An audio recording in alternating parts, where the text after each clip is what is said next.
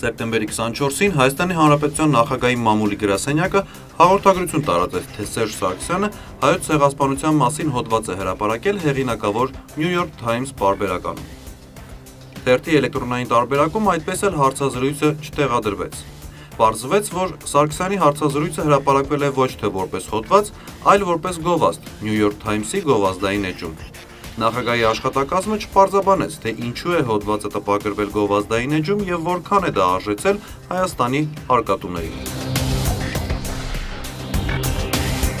Մարտին խորհրդարանական 4 կուսակցությունները ԲՀԿ-ն, ՀԱԿ-ը, Ժառանգությունը եւ Դաշնակցությունը պահանջեցին վարչապետ Տիգրան Սարգսյանի հրաժարականը եւ հայտարարեցին, որ ապրիլի 28-ից 30-ը Ազատության հրապարակում այդ պահանջով շուրջօրյա հանրահավաք են անցկացնելու։ Իշխող ՀՀԿ-ն համառորեն հերքում էր վարչապետի հնարավոր պաշտոնակության մասին լուրերը, Մարտի 27-ին ՀՀԿ Գերագույն մարմնի նիստից հետո կուսակցության խոսնակ Էդուարդ Շարմազանովը ի պատասխան կառավարության հնարավոր հրաժարականի մասին հարցի հայտարարեց.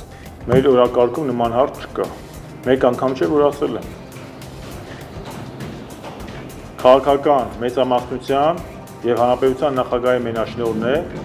կառավարության կազմի նշանակումը, ազատումը եւ վերանշանակումը։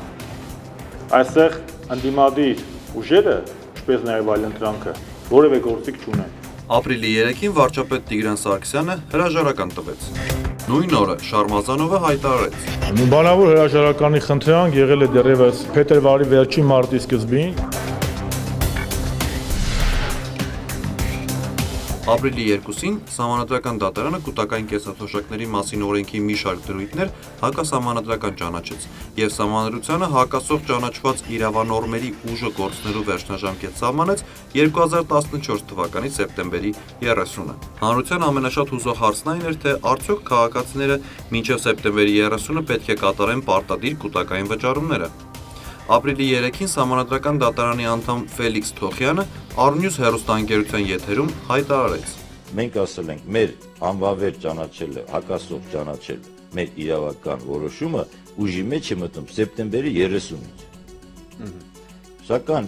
բարձրացել բարձա։ Մեր որոշման ամենավերջի կետերից մեկն էլ հստակ նշված է, որ հասկանալ է, չէ՞ որ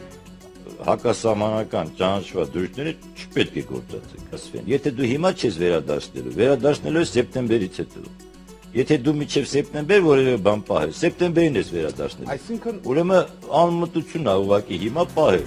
Մի քանի ժամ անց Թոխյանը շանթ հերոստանգերության հյուրներ, որտեղ նա հայտարարեց. Դատարան որոշմամբ օրենքը այսօր պարտադիր պետական այդ պահանջը կեսաթոշակին չի վերացվել։ Այդ ճյուրիմացությունն է տես դարձել։ Միջև սեպտեմբերի 30-ը պարտավոր են վճարել։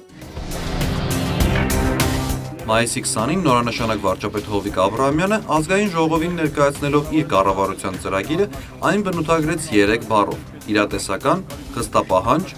ականջալուր եւ խոսեց հավասար հնարավորությունների մասին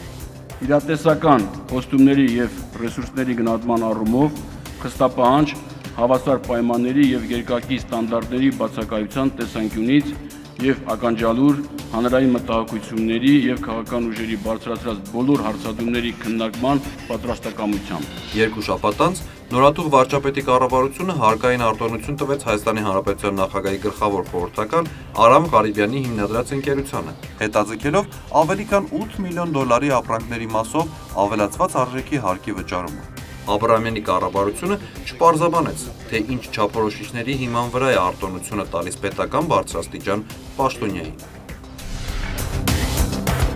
Հունվարի 21-ին ԱՄԵԿ+-ը հարց ուղղեց Հայաստանի Հանրապետության նախագահի խոսնակին։ Ճիշտ են Սերժ Սարգսյանի արձակուրդի ժամանակ նրա օրգանիզմում ցողունային բջիջների պատվաստման մասին տեղեկությունները։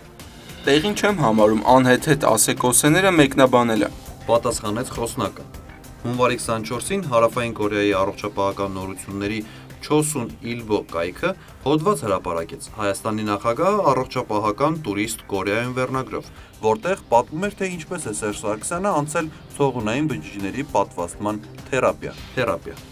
Կորեական կայքը հաղորդեց, որ Սարգսյանը ընդհանուր առմամբ վերականգնողական կենտրոնին վճարել է 200 միլիոն կորեական վոն, մոտ 186 հազար դոլար։ Նույն օրը Civilnet-ի հարցմանի պատասխան նախագահի խոսնակն ասաց, որ Սերժ Սարգսյանը Հարավային Կորեայում վերականգնողական բուժումներ ստացել է անձնական հայտարարագրված միջոցների հաշվին։ Կորեական հիվանդանոցին վճարած գումարը կազմում է Սերժ Սարգսյանի մոտ 16 տարվա ընդհանուր աշխատավարձ։